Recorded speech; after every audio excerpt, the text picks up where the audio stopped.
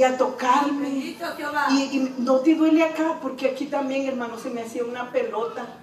Porque cuando me operaron, a mí me estiraron el nervio, el tendón, para poderme poner abajo del tendón todo lo que tengo. Y me lo estiraron. El doctor por eso me dijo, vas a sentir dolor toda tu vida ahí porque tu, el tendón está encogido y así va a quedar. Y se me tocaban las pelotas aquí, hermanos, y aquí. Y empezó él y, miraba para arriba. Dijo, ¿qué pasó aquí? No hay nada. no hay nada. Y, empezó, ¿de veras? ¿No te duele? No, no hay nada. El tendón no está ahí, como está, está normal. Y le dijo a mi esposo, porque el Señor la sanó. Aleluya. Ustedes saben que los doctores son un poco celosos, ¿no? El doctor se sintió así un poco celoso, pero y se puso rojo porque no lo creía. Y hermanos, para honra y gloria del Señor, Él me dio de alta ya, porque me dijo, ya no necesitas de mí. Alabado sea Dios.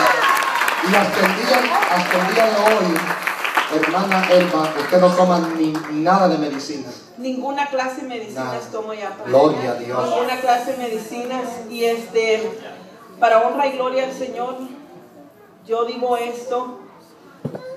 No este, pongamos opaco al Espíritu Santo. Él va a sanar nuestra vida espiritual. Si no sanamos espiritualmente, nunca vamos a sanar en la carne. Entonces, tenemos que andar en el Espíritu para que el Espíritu nos alerte de tantas cosas, hermanos, y que Él nos sane internamente y cada momento que usted se sienta enfermo. Ahora, hermanos, yo les voy a decir esto y voy a confesarlo a mi familia. Un dolor que tengo, y yo digo, Señor, en el nombre de Jesús, si tú me diste esta mano, mi esposo me dice, ay, tu manito del milagro, me dice, y se pone y llora por mí, hermano. Dice, les hago unas tortillas porque antes no podía hacer tortillas.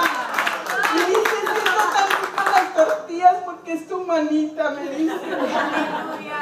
Yo le doy la honra y la gloria fuerte el aplauso, hermano. Tremendo, poderoso, testimonio lo que está sucediendo aquí en la iglesia de Dios Pentecostal en la Dixon Lane. ¿Sabe por qué? Porque le estamos dando libertad al Espíritu Santo. Y donde está el Espíritu Santo hay milagro, hay vida, hay poder, hay restauración, hay sanidad, hay prodigio. Y eso es lo que se está mirando en este lugar. Gracias hermana Elba, de verdad. Estamos contentos porque Dios sigue haciendo milagros. Y tú también, hermano, si estás pidiendo por un milagro, cree. Abandónate en la mano del Señor y Dios hará. Gracias por ese testimonio. Gracias, hermano. Gloria al Señor. Vamos a seguir dando testimonio.